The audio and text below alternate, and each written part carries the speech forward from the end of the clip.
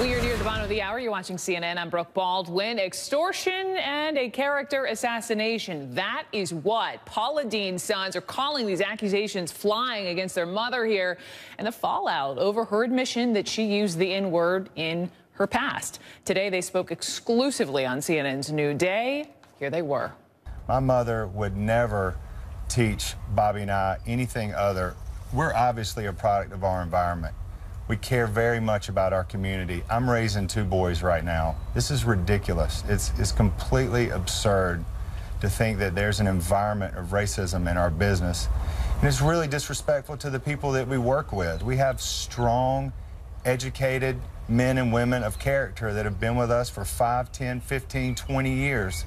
To think that they would allow themselves to be in this position is simply baloney. It's ridiculous. Bobby and I are here today not to stem the tide for endorsements or any of those things. We're here to speak out for our mother's character and to say that our mother is uh, a truly wonderful people that is inclusive of all people and spends a lot of her time and energies to help those people that are challenged. 25 years ago when we started our business, we had nothing. And now we've given the opportunity to help uh, nonprofits across this whole country, and it means a tremendous amount to us. And to do good things in, in, our life and the power that we've we've been given through our media career is important to us.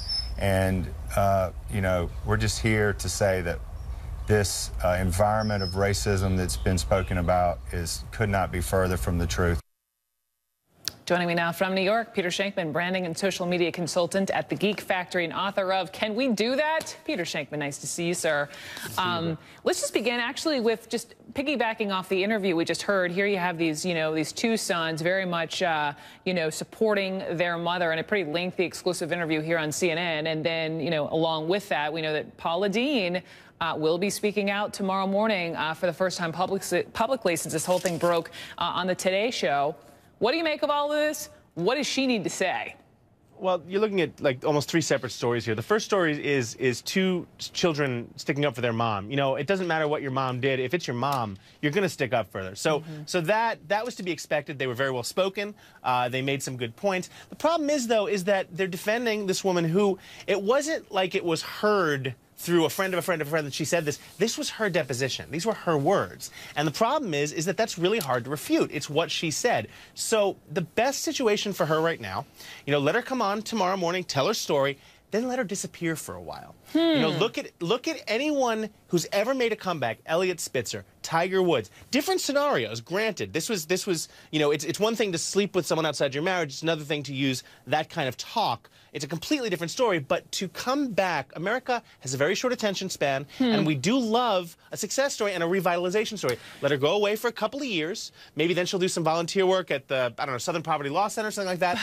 and then come back. But, but that, and this, mark my words, that will happen. Okay, so but here's the but. You know, she she is the, the kind of she's the face, obviously, uh, of what she is cooking. You know, she not only has this this restaurant, yep. which apparently is doing uh, you know incredibly well in, in Savannah. She has this uh, upcoming book, which which pre-sales are going gangbusters on on Amazon. Um, and we know, obviously, she was yanked from Food Network. It, I know you're saying she needs to go away. It, let's say she goes away for just half a minute and comes back. Do you think there, there's any chance the Food Network gives her her job back?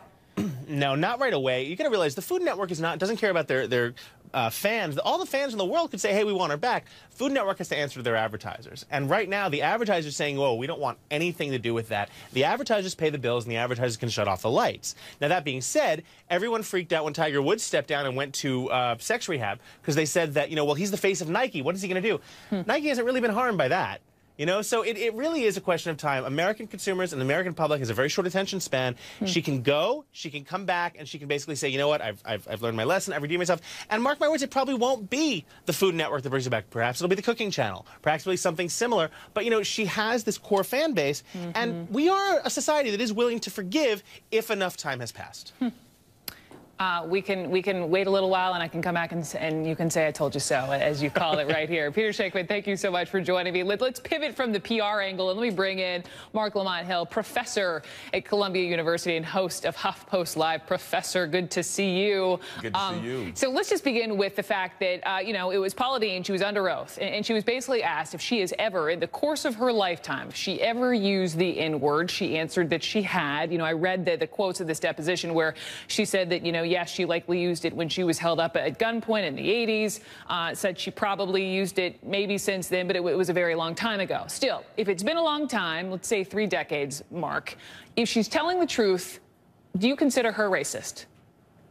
Uh, I'm really you know, reluctant to go around calling people racist or not racist. Uh, my gut tells me that if you use the N word a long time ago and use it throughout life, you probably still use it.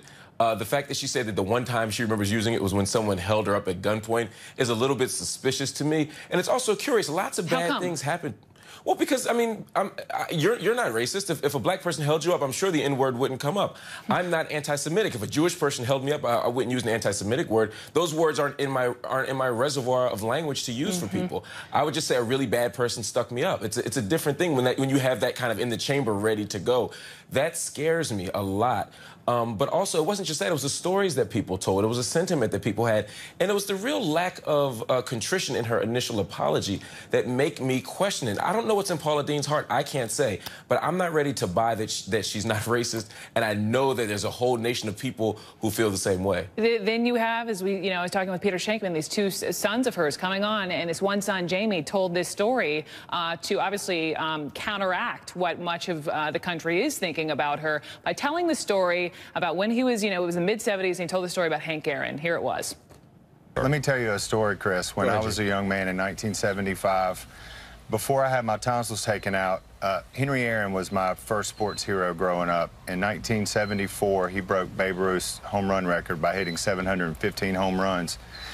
Before I had my tonsils taken out, I was obviously, I was seven years old. I was very nervous. My parents gave me Hank Aaron pajamas.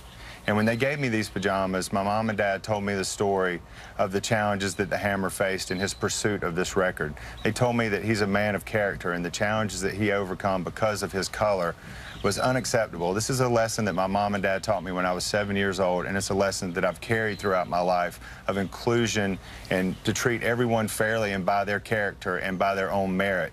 And under no circumstances should you ever judge anybody for any other reason. So let's Marc Lamont Hill take him at his word. Let's take Paula Deen at, at, at, her word. She was she was under oath. I mean, here we are, 2013. Can she move on from this? Can can the nation be accepting that? Yep, she used it. She hasn't in a while, and it's okay. Well, here's the thing. I I I take her uh, whether or not I take her at her word is almost immaterial. She has a right to have a TV show. She has a right to say what she wants. She has a right to think uh, what she wants. So even if she is racist, I don't necessarily think that we should run around taking everyone's job because they're racist. There'd be entire networks that didn't exist if that were the case. Do you think Food Network overreacted?